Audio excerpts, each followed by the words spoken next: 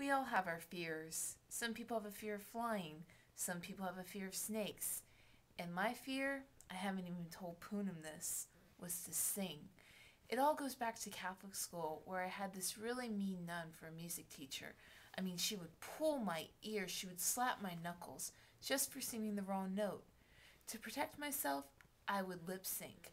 And even then, I'd still get yelled at. So, anyways, it was karaoke night, and Poonam was flipping through the books, picking this song, that song, one song, the other song. And I was just kind of casually looking over and thinking, well, am I going to sing or I'm going to not sing? But, uh, you know, Dinah Shore really got me to open up more and to express myself freely. So I found a song, um, If I Only Had a Brain, from The Wizard of Oz.